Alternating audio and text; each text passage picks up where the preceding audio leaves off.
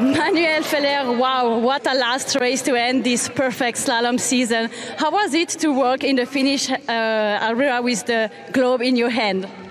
Well, uh, can't describe this in words. Uh, just amazing, especially in front of a crowd like that uh, at home. Uh, you can't write a book better like that. And I want to thank everybody who came here, and I want to thank everybody who was cheering for me over the season and who was cheering for me over the years.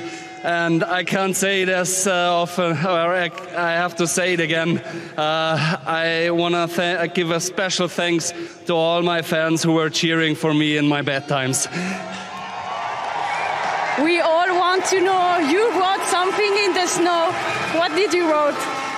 Well, um, me and my friends, uh, we lost a friend one and a half years ago, and um, I just wanted to share a little moment with him.